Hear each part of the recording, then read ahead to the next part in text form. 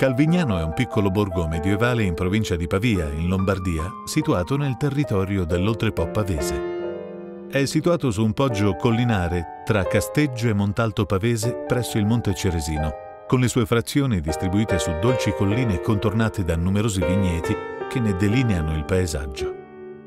Calvignano è noto fin dal 1111. Apparteneva al priorato cluniacense di San Maiolo di Pavia, che lo infeudò ai San Nazzaro dai quali passò nel 1371 ai Bottigella. Il piccolo feudo si mantenne sempre autonomo rispetto ai vasti feudi vicini come Casteggio, Montalto e Fortunago. Estinti Bottigella, nel 1690, esso fu venduto ai conti Fantoni di Pavia. Il castello di Calvignano domina su un poggio e precede il centro del paese. Negli anni 60 viene quasi completamente demolito.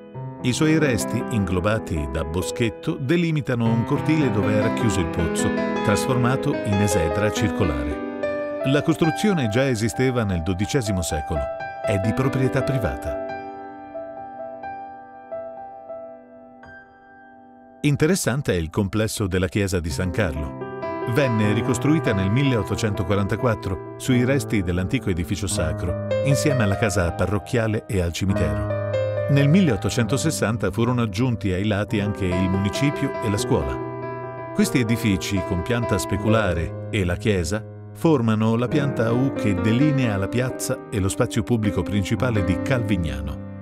La chiesa di San Carlo è in stile neoclassico ed ha una singola navata. Il municipio è stato recentemente restaurato e presenta all'interno ambienti eleganti.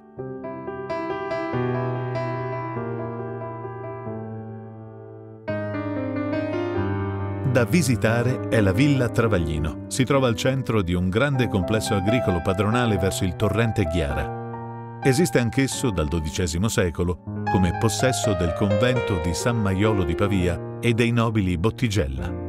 Nel XVII secolo viene trasformato nel complesso che vediamo oggi, costituito da una parte residenziale alla quale si allacciano abitazioni coloniche e rustici che danno forma ad un ampio cortile quadrilatero.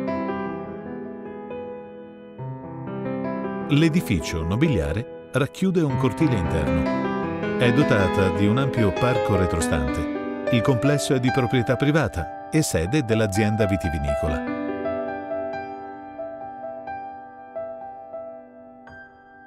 Si possono visitare l'enoteca, le splendide cantine storiche e l'antica ghiacciaia.